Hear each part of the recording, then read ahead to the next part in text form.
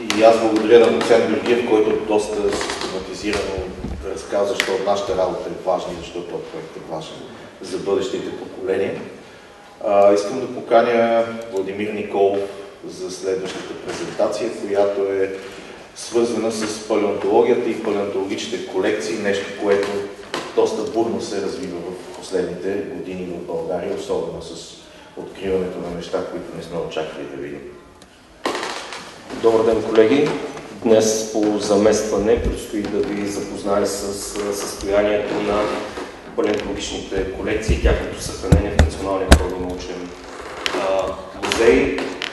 Палеонтологичната практика показва, че има различни модели за състояние и съхранение на фосилните колекции, като самите колекции са организирани или на таксономичен принцип, или на стратиграфски принцип, или на по отношение на това откъде произхождат фосилите, т.е. по находища и локалитети.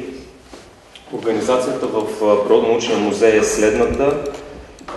Фосилните образци и колекции се съхраняват спрямо находището, от което произхождат, като вече за всяко наличните образци са организирани на таксономичен принцип. Съхранението става най-общо в, в кутии, които се разполагат на открити рафтове, по-рядко в шкафове.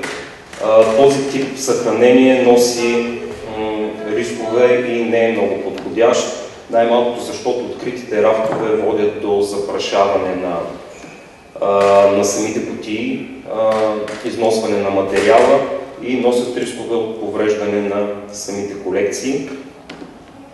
На снимките може да видите примери за това как се съхраняват палеонологичните колекции и палеоботаничната колекция на eBay. Тук сме подбрали снимки от Палеонтологичния музей Димитър Ковачев в Асеноград, който е филиал на Националния природонаучен музей в Бан. Общо взето принципите на съхранение на колекциите там са същите, каквито са и в Националния природонаучен музей. Фосилите седят прибрани в шкафове, чието рафове са неподвижни.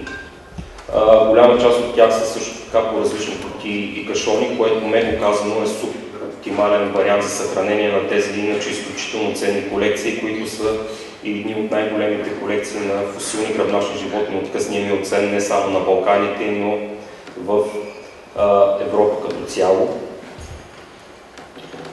Тук са показани снимки от различни природонаучни музеи и други научни институции от цял свят, които показват как се съхраняват фосилните колекции там. Като цяло разликата идва от мащабите на, на депата, в които се съхраняват фосилните колекции, както и а, качеството на материалната база. Фосилите биват съхранявани в различни типове рафтове, в зависимост от а, а, техните размери, като дребните и средно големи фосили налагат различен тип съхранение от наистина големите, големите образци. Може да видите как някои по-ценни и по-големи по размери образци биват съхранявани в отделни колички и а, кутии, които са затворени, като по този начин изолират а, фосилните материали от евентуално вредното въздействие на околната среда, понеже някои а, фосилни находки са изключително податливи на повреда при повишена влажност на въздуха, например. Това, което а, палеонтологичните колекции на Националния природонаучен музей а, биха се възползвали е подновяване на материалната база за тяхното съхранение, което включва закупуване на различни шкафове, за съхраняване на дребни и средно големи образци, както и евентуално шкаф за съхранение на така наречените дюншлифи, което по същество представляват микроскопски препарати. Понеже предстои музеят да се здобие с единствената порода си в, в България и поради това най-голяма колекция от палеохистологични препарати от фусилни гръбначни животни.